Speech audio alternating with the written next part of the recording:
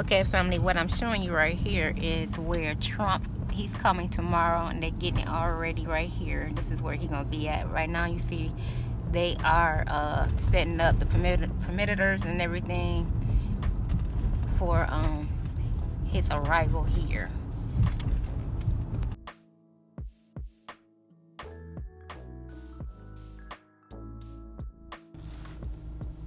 Okay family you see this building right here? This is where i work at right here this big this big building. So um i am about to go in you know um my lunch break is over with but like i was showing you in the video um um trump is gonna be down here um tomorrow.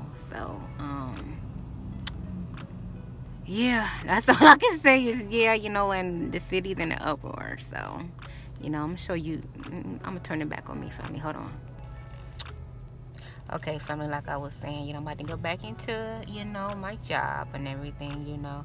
Um trump is going to be here. Um he's gonna be down here at um close to where i work at. So they're gonna have all kind of security and all that. Husband has to work the um be one of the protectors and he not he not happy about it at all you know um not at all. So he uh, is going to be one of the people that is going to be in charge of uh, uh, protecting Trump even though he's not happy about it. So I just want to give you guys a little glimpse of what's going on here in my city. I got to get back to work family. I love you. I love you. And uh, tomorrow I will um, I will be seeing you at the motivation video.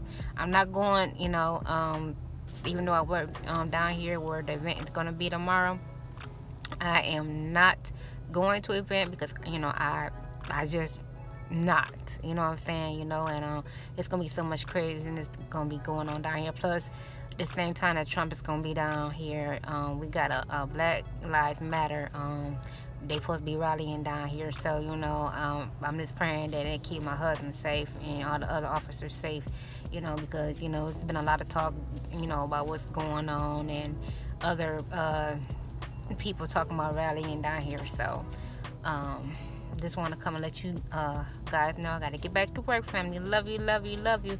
I'll see you tomorrow morning motivation. Bye, family.